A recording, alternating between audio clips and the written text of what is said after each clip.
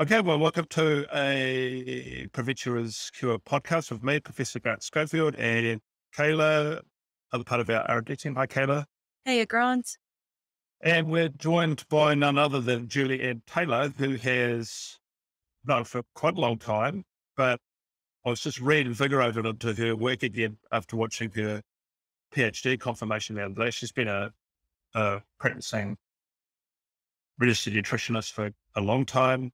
Uh, she was really early to the paleo movement and whole foods. I think her own experience with with autoimmune and whatnot was important. So welcome, Julianne.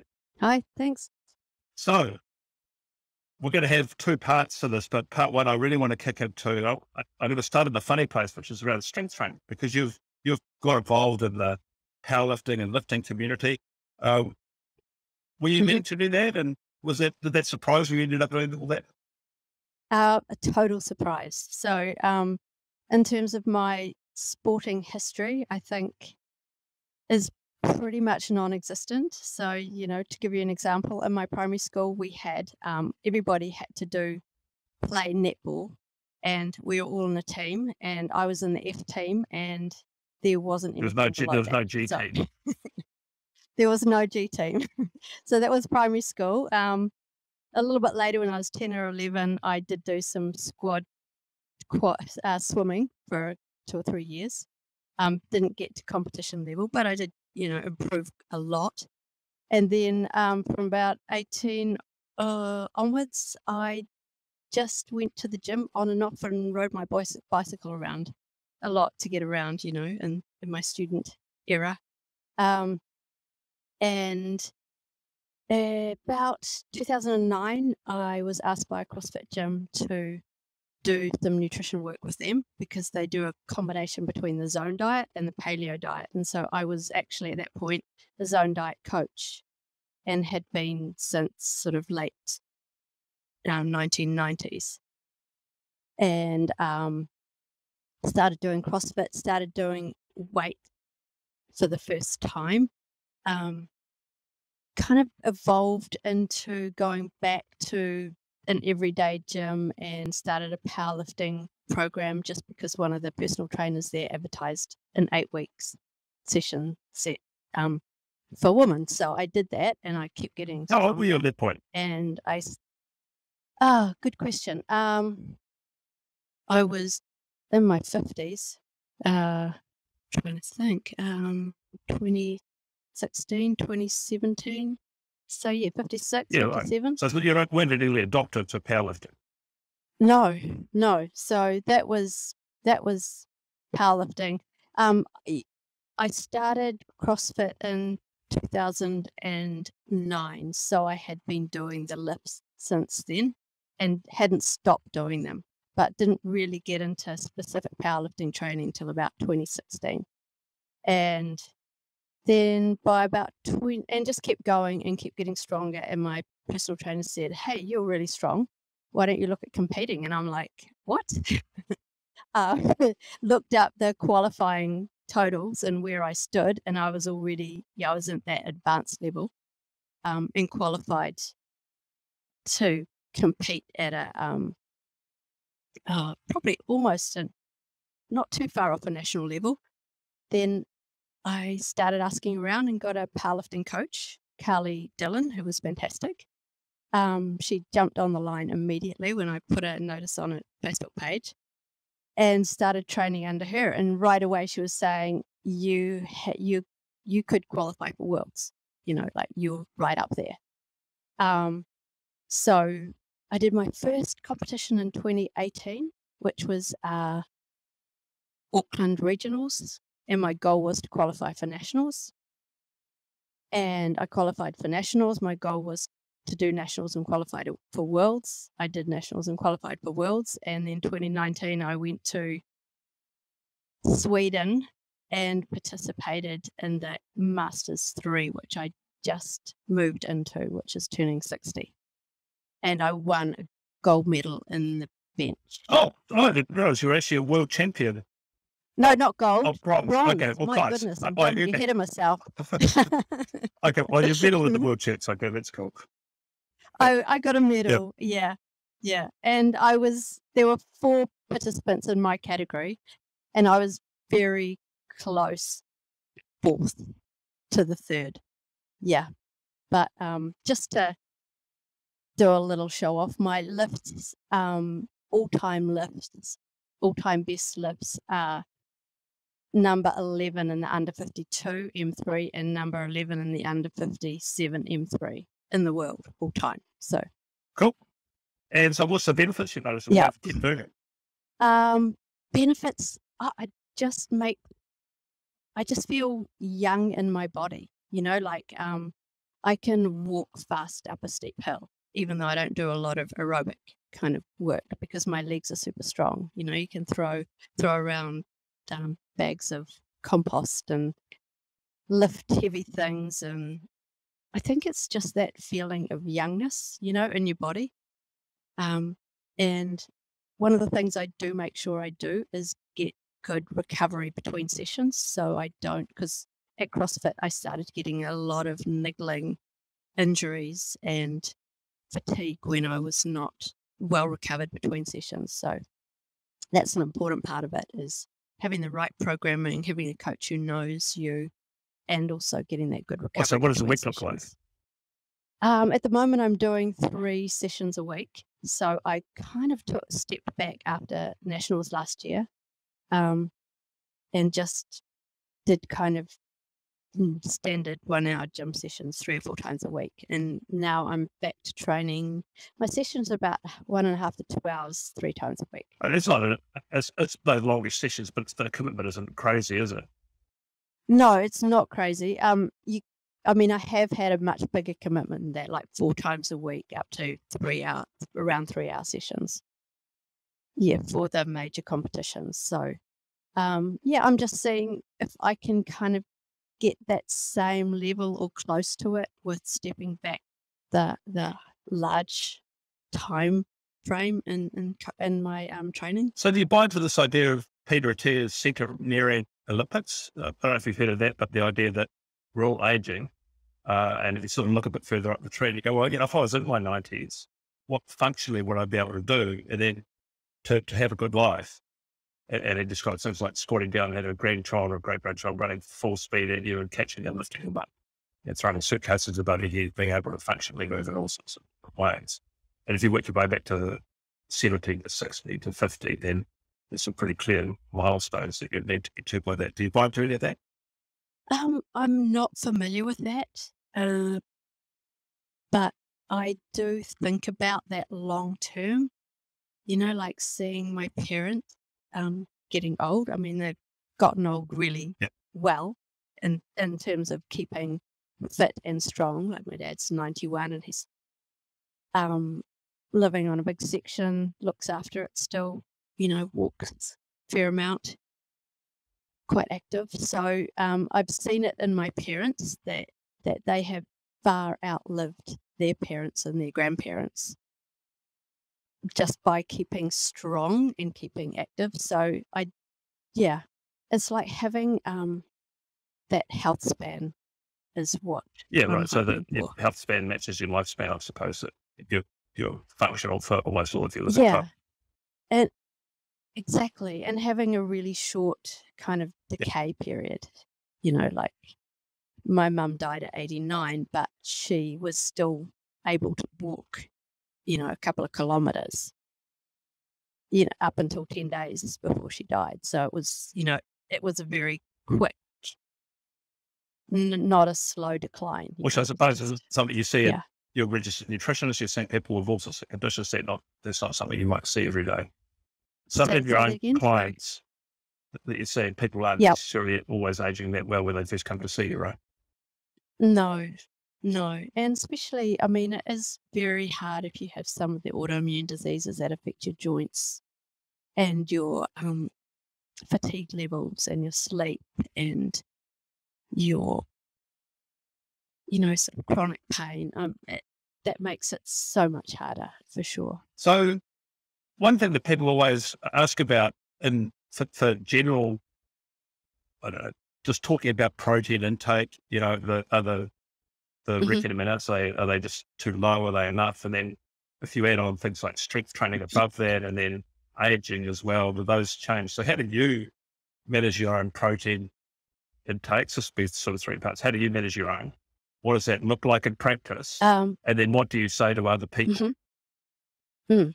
So, first of all, how I manage my own. So, I'm very, very particular about my protein intake because it's really, really tied with strength, muscle protein synthesis, um, and recovery. So, I mean, just to give you an example, like way back in the day, and this is how I got into nutrition, and it wasn't through paleo, it was actually through the zone diet. Um, so, like mid 90s, I read the zone diet book, and I was like, the sort of results he's talking about sound amazing, like his work with athletes, um, no PMT for people that were on it, and I had quite horrible sort of breast pain, but for my periods. Um, but the thing that really I was blown away by was going from a kind of mostly vegetarian diet to back to a much more omnivorous diet with a much higher protein intake. Nothing like much lower than I'm doing now, but my strength improved quite dramatically at the gym and my recovery was almost immediate. You know, I'd come out of a gym session and feel invigorated, whereas on my lower protein diet, I'd come out of the gym feeling like really fatigued and I'd sit there for half an hour waiting to kind of get my muscle strength back. So that was when I really first noticed the difference that protein made. So, but with my powerlifting, um, I bumped up the protein since then. So I make sure that I have four lots of protein a day and around about 30 grams. So I'm getting around 2.2 grams per kilo body weight. Which, which is which is Um, possibly almost and I'm- three times what many people would get, right?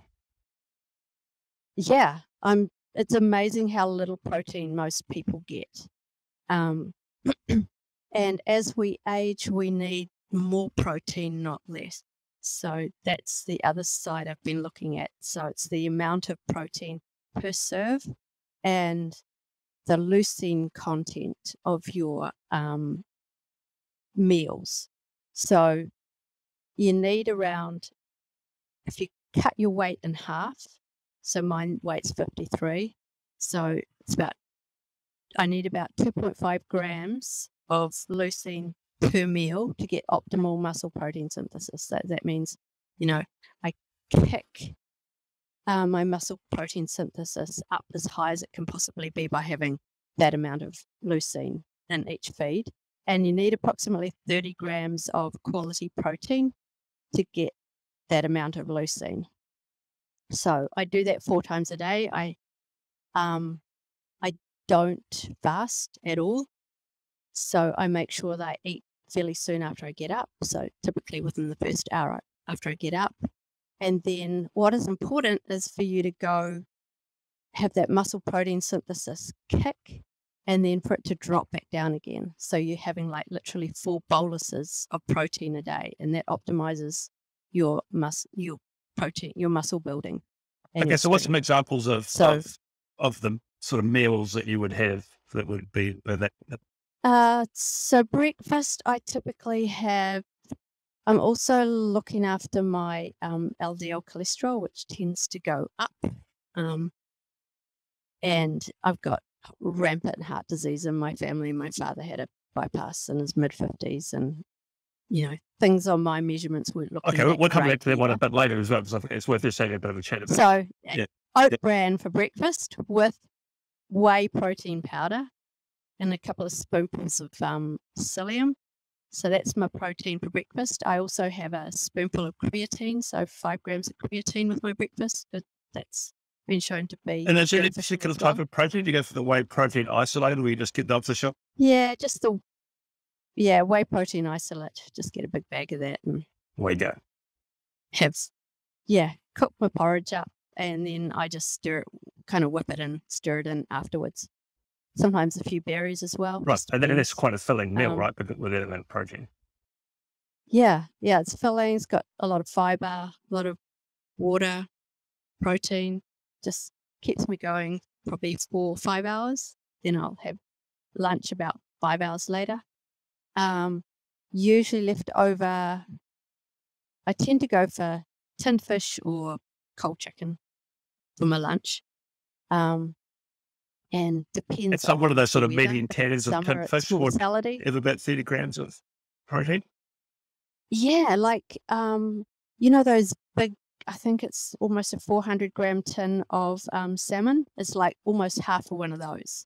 And most people, like women, you know, I'll see as clients, they go, "Oh yeah, I have a tin of tuna." And when you find out the tin of tuna, it's one of those sort of like gives you about Yeah, 10 yeah, grams yeah. of protein. It's so little. Actually takes quite a lot of tuna, like about 100 and, oh, of salmon, about 150 grams to get your 30 grams of protein. So yeah, it's quite a chunk, or about 100 grams of cooked chicken gives you 30 grams of protein. which is sort of a decent fish size Um, fillet. Is that what we're talking about? yeah, it's um 100 grams It's about a thick palm size, I guess, for me. Um, I tend to have decent amounts of not. I'm on a moderate carb diet, but not a low carb diet. So I'll use um, sweet potato, kumara, root veggies, um, like with my lunch as well as salady things. Hot in the winter, cold in the summer. Um, and dinner, just a normal kind of meat or fish or chicken or sometimes tofu. Occasionally do the veggie one, but um, mostly it's animal protein and veggies pretty much every night. And then sometime in the late afternoon, I'll have a snack. So it could be a protein shake or a protein bar or something like that. Yeah. And so I suppose compared to someone else of your demographic, that's, that's really it. Mhm. Take your average uh, uh, woman of your age that's coming to see you. What would they be Yep. eating? Um, a lot of I see a lot of smoothies for breakfast. Yep. And smoothies are mainly carbs and fat because they'll, you know, it'll be the coconut cream, Avocado or Uh, spinach or something. Yeah. the nut butters, avocado, um, berries. Yeah. So, and very little protein. Maybe, maybe I'll see some woman who'll do a scoop of protein, maybe 15, 20 grams of protein.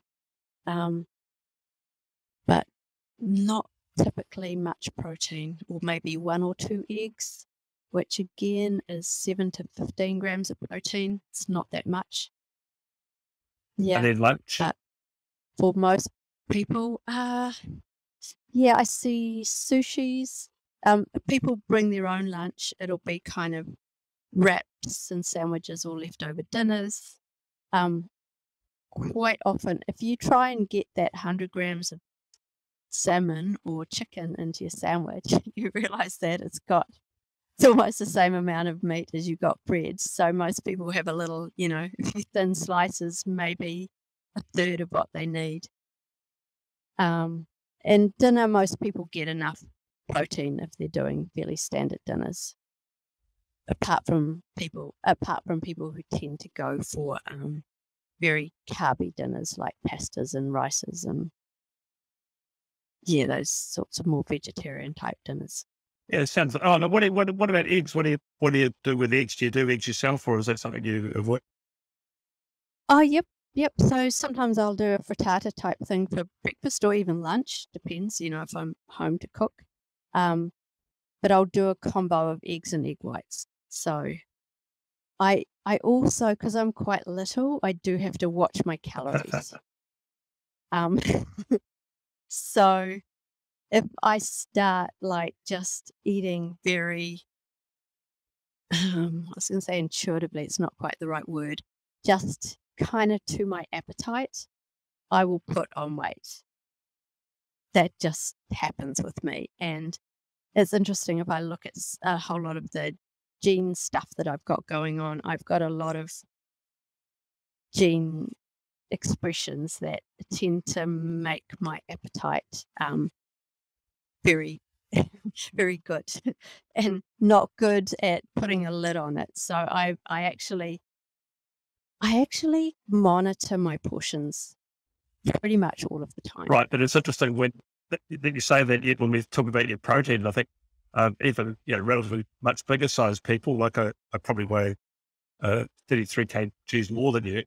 I'm even looking at your sizes going, wow, so it's, yeah, okay, I, I probably need to up my game just to get to where Julianne's at. yeah, yeah. It, I mean, it's, to be honest, it's a, can be a little bit tedious just making sure that I'm getting all the food in, but I see it as a real support for my strength training. And um, another thing that I do is I always feed forward. So um, I don't train without food because I want those amino acids to be circulating in my bloodstream and I want that good blood flow, flow in my training so that my muscles pull out the amino acids and have the best chance of recovery and, and rebuilding. That's cool. So you mentioned the cholesterol. Uh, yeah. Is a particular gene, the ApoE4 type situation there where you feel? No, I'm I'm not. I'm an um, uh, APO three three, so it's not that. But um, I do on my father's side, like all his uncles, if they weren't killed in the war, they died of heart mm. attacks mm. in their fifties. Um, my grandmother on my dad's side had a heart attack in her mid fifties. My dad had a bypass in his mid fifties. So in the LAD, so and that artery in me has already got a little bit of calcium in it. So I don't want to take risks in that department because the family history is just too. Yeah, and I, it's, it's interesting you say that because there's you know there's obviously a lot of discussion to both in the nutrition and, and mm-hmm. health and wellbeing community around around uh, what to do with cholesterol numbers and statins and things, and and you know what's true for the population is not necessarily true for subgroups within that population. Mm. Yeah, I mean, I'm I'm definitely not keen to go on statins, but I I manage my LDL with diet. And other parameters like your tri- fasting triglycerides and your HDL, all those things. Yeah, all of those are perfect. But my LDL measured levels, some of the components of it don't look mm. that great. And so, they respond well when you do reduce for that reason. Your your your animal fat in particular. Yeah, so I do um I do keep my saturated fat low. I'm very saturated fat sensitive. So my LDLs skyrocketed to about 7.5 when I was having more animal fat and coconut oil and coconut. Yeah, it's interesting because I don't particularly respond much to that uh, in the same way. So there's individual differences there. Right? Yeah. Oh, definitely. I mean, it's there's there's a spectrum, and I yeah. happen to be on one end of the spectrum. Yeah. Okay. Let's get on to another. I guess I suppose it's an age centric, Asia sex centric issue, which is around uh, hormone, uh, you know, female sex hormones as you age, and then and then period mm-hmm. menopause and menopause and the symptoms around that. I know you've had a bit to say about that and have some opinions uh, around that and how you negotiate that mm-hmm. yourself. But if you're comfortable about talking about that, of course. Mm, yeah, no, no. I I think it's one of those things. It's sort of like menstruation and menopause, kind of a little bit taboo subjects, and I mean, half the population has these, so why can't they just be normalized? Well, 100% yeah, the whole population is affected by it, so and, and to have some understanding. Absolutely. yep. um. So I might just jump in with yep. some questions then. So, sure. Where do you think, Julianne, it started with HRT kind of being becoming a taboo and a risky and a scary thing for women to do? Because it was kind of normal until early 2000s, was it not? Mm. Yeah, so I think, and I'm not super clued up on this, but there was a big study that came out that showed that there was an increased risk of breast cancer with HRT.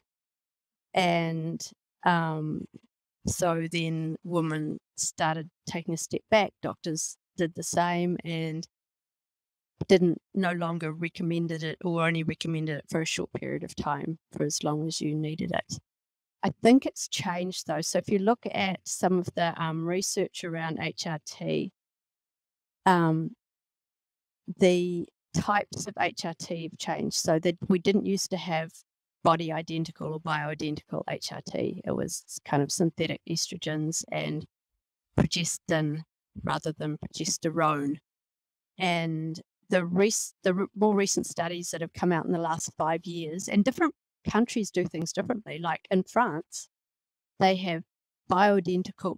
The standard HRT is all bioidentical.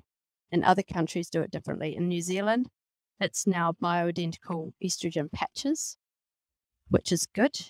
Um, but the progesterone is not progesterone. The one that's funded by the government is progestin, which goes into the same receptors and has a similar effect, but it is not the same as body identical. And when you look at the um, rates of breast cancer with people on the bioidentical, both estrogen and progesterone, they're not, they don't go up. But if you have the synthetic progestin, you do get an increased risk of breast cancer because it alters the way estrogen is um, metabolized. So I'm very, so what I am on is both Estradot, which is the estrogen patches, which is a safer form of estrogen. Um, and I, I pay for the micronized progesterone, which is the natural bioidentical progesterone. Okay, I suppose the other thing, aside from the form that it's coming in, is the the period of time after the onset of menopause that you stop taking HRT. So I've done a little bit of reading, and it seems to be that kind of like if you're more than a year, more than twelve months after um, onset of menopause, then the the risk potentially goes up. Um, yeah, well, that, I think that's the problem with that study that was done in the 90s is that really in that study, the major risk was the the older women who were well past menopause who started HRT were the ones who showed that increase uh, risk yeah. of immediate status. Right. It's definitely horrendous as well. What about, can we contact step back and sort of talk about how you got to that point of being interested in this and, and whatnot? How I got to, to being interested in, in HRT and getting it because because the nutrition community, oh. especially the paleo community, which I know you've been very big into, is actually has had periods of being quite anti HRT and saying no, it's there's there's there's actually 101 good remedies that are nutritional, and you should sort those out. Yeah. So um, where it first started was early menopause, um, and like a lot of women, um, I went, I had effects that I really didn't like. So my memory was really affected. So, um, you know, like I got my first C plus in a post grad paper that I was doing. I, I just, it's like things would just fall out of my brain. You know, I put my glasses down and I couldn't remember where I put them. I put my keys down. I wouldn't, and I, I mean, now I'm fine. Before that, I was fine. And that had never happened to me before, that kind of, you know, forgetting where I'd put things. I always remember. Um, and I felt really kind of pathetic, you know, like just not weepy, but just no kind of pep. Um, and I noticed at the gym, my strength, I was not able to do the same lifts, even though I was going to the gym fairly consistently. My strength was dropping off. And that's when I looked at um, what's going on hormonally. And at that point, early menopause, it was my testosterone. And that's what I, I found out from reading various articles and papers. I thought, oh, this sounds like my testosterone is tanked. And so I went to um, holistic doctor rather than my, my normal doctor and got it measured. And it was like literally unmeasurable, it was zero. So um, that's when I first started HRT. And I actually just took, had a little bit of um, testosterone cream daily. And within a month, I was like, oh, I feel normal again. And it was just such a, such a relief to go back to feeling normal kind of drive and normal brain function and normal strength. And um, so I did that for probably a year or so. And then um, I then I dropped it off, and my testosterone naturally had just come back up again, which is what tends to happen. But then I started having the other symptoms, which is the hot flushes and oh, the anxiety. Oh, that this is the most unpleasant thing is waking up in the night with your heart pounding, feeling incredibly anxious and no reason for it. And that was the worst part of menopause. And I just have to kind of lie in bed and breathe and wait till I go back to sleep to get over it. So that nighttime anxiety and also a little bit of daytime anxiety. So the minute I started to feel a little bit worried about something, I'd have this horrible hot flush and nasty sensations. And it was like my brain was controlling my body. So I tried a few herbal things and they helped a little bit. And then I then I went on to the, the bioidentical creams and then eventually I just went on to the standard prescription one. Um, and just that feeling of normality again, you know, no mm. hot flushes, mm. no nighttime anxiety, sleeping through the night, no, yeah, just feeling normal. So I take the lowest dose to feel normal rather than a high dose. So what do you say to other women? Because I can, you know, having said this myself with a number of people who are close to me that I know, that there must be people who have toughed their way through this for years, suffering. And, and yeah, that Yeah. seems utterly unnecessary. Yeah. Oh, I mean, your body does adjust over time. It's not like it, it the menopausal symptoms are there forever. Um, Lara Briden is the person to speak to on that. Um, but it, it's like puberty. She calls it a second puberty. So your body goes through it and eventually adjusts to, and all your physio- physiologically you adjust to a kind of a new normal. Um, but I haven't been brave enough yet to come off HRT. yeah, so we'll see. And I'm also, to be honest, it's it's illegal for um uh, drug tested sport, not testosterone. I'm no longer on that. haven't been on that for years. Um, but estrogen, progesterone is allowed, and there is some evidence that it supports strength. So I'm also a little bit worried coming off it and what effect it might have on my strength. And you said you tried some herbal things. What what herbal things did you try? Oh, just multiple different combos from um, iHerb, you know, all the different menopausal supplementy things, and some from New Zealand. So, yeah, they dampened it a little bit. Certainly took the edge off, but um, nothing like just Yeah, standard. so no real HRT. impact on the hot flashes or the anxiety. No. There's a lot of lit- there's a lot of really. discussion Not- around well, just get your diet right, get your your exercise right, and you'll sort it all out. Which sort of I think unfairly puts it back. I mean, obviously, you want to do those things anyway, but it puts it back on a being a personal root cause. of the sort of it's, you'll get in there because you haven't got your act together. Yeah, look, I, I think diet and lifestyle do have, I'm not sure how much impact they do have an impact. So, pre menopause, for example, I used to get really um, bad breast pain before my period. And I used to get extremely painful, crampy periods. And both diet and supplement, mainly omega 3 for the cramps and a lower carb balanced diet for the PMT, both of those went away completely. So, um, and I, I mean, to be honest, I didn't have a terrible time with menopause. It was just, it's just one of those things you don't want to have. You know, it's like you want to focus on the rest of your life and not have to deal with that. Um, so, and and I am on the lo- really lowest dose of estrogen and stuff. So I think it has it works together for sure. One of the reasons I'm asking you even about this at all is because you've actually said publicly about it, which Mm. I could count on one hand the number of people I know that do that. I, I do actually know a lot of women in that age bracket. So why is it that we have difficulty Hmm. discussing it? That's a good question. I think um, there's a lot of sensitivity for women around aging in general. And menopause is just one of those milestones that marks that aging process.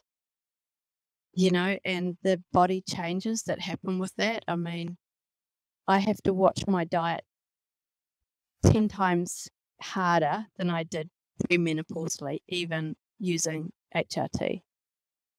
Um, you know, your insulin sensitivity with the lower estrogen goes down, your waist fat goes up.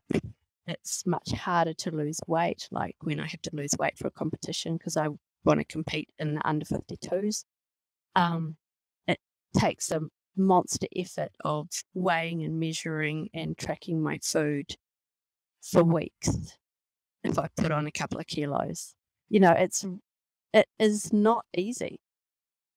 And this is on, you know, like a higher protein, moderate carb diet with all hardly any junk in it at all. Do, do men get an easier go? But like, I mean, we do lose testosterone, but it's probably more of a linear process. Uh, we get grey hairs and grey beards, and everyone just goes, "Oh, they look good," you know. Like that's do we? Is it unfair? Yeah, I think so. I think so. Well, yes, it's unfair, and I think um, on the other hand, I see people, you know, your age, my husband's age, getting a lot of flack. I mean, ageism is an accepted ism. You know, if you, you go to the um, card section at any in any um, stationery shop and you look at all the if you look at it, quite mean jokes about old people. When you go to the 60, the 60 age category cards or something, yeah, okay, I thought of that. That's quite a good commentary. yeah, I mean, they're not, yeah, they're not very nice. And, you know, there's the old white pale male. Um, it's okay to do that. And I see it all the time. But, you know, if you would say the same, something on an equal basis about another sector of society, you'd be knocked, you know, like how could you be so racist, sexist, ageist, whatever.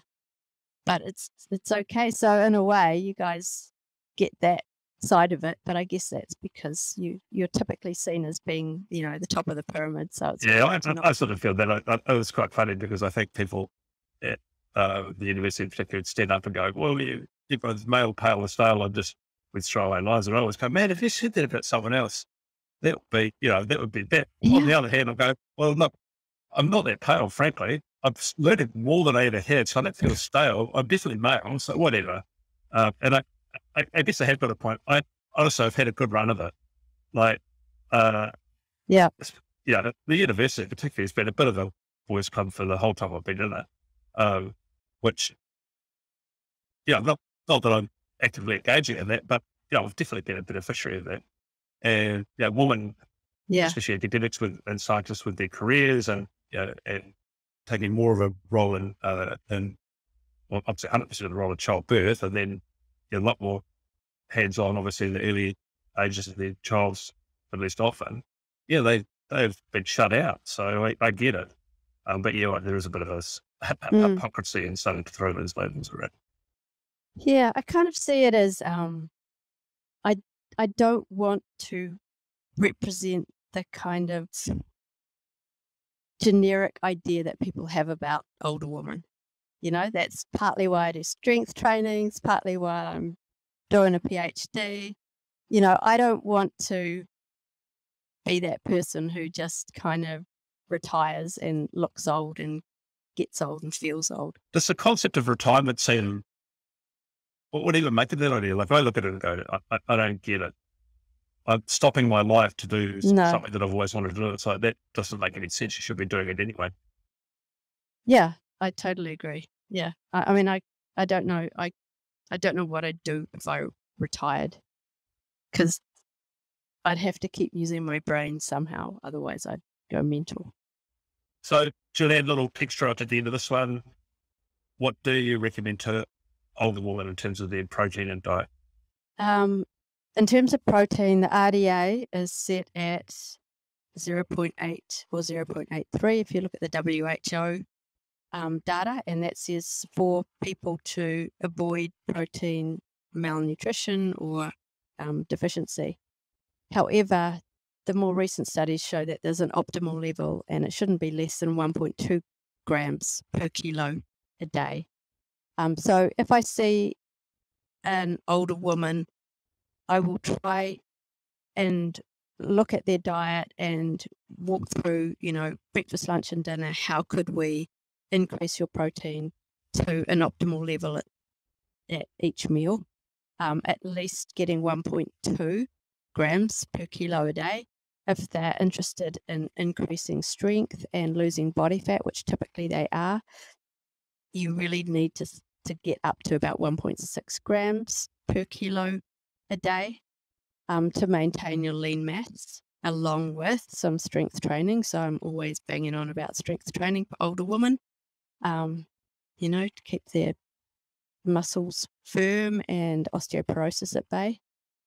Um, and ideally, I work through people's diet and look at, well, how can we get 20 to at least 20 grams at each meal? So it could be adding more protein to your smoothie and cutting out some of the, the fat if they're losing, trying to lose weight.